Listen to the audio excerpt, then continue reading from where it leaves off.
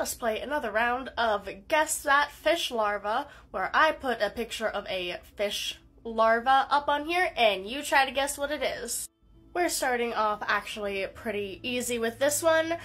What do we think this fish larva is? To give a hint, the adults are both toxic and incredibly invasive in many areas of the world.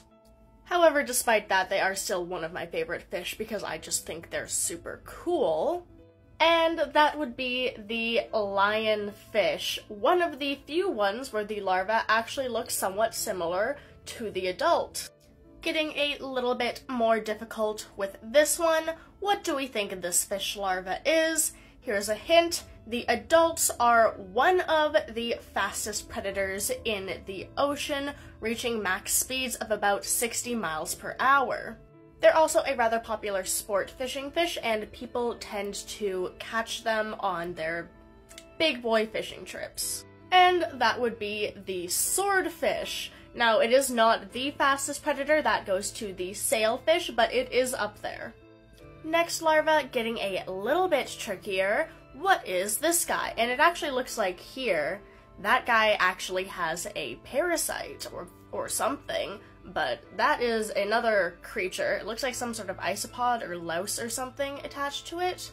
But the adults of this species are bottom dwelling, so they live on the sea floor. However, they are not deep sea fish. They tend to lie down on the shallower parts of the seafloor. They're also a very popular food fish, and you've definitely, at the very least, heard of them, if not eaten them before. And that would be the flounder. And the adult flounders have their eyes on the same side of the body, whereas larvae, they are on different sides, like any normal God-fearing fish. Up next is this one, which is a little bit trickier, mainly because I don't think a lot of people have heard of this fish in general. The adults are a somewhat deep sea fish, not the most deep sea. They are found at a depth of around 90 meters, which isn't as deep as many other fish, but it is still down there.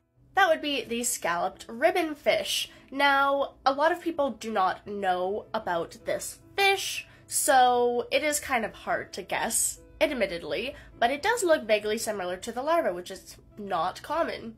And finally, what is this larva?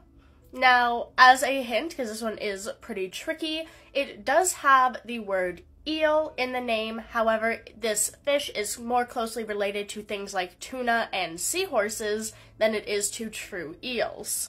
And that would be this absolute stunner, the cusk eel. If you want, put in the comments how many you got right, what you thought things were, and if there's any other weird looking larvae I should look into.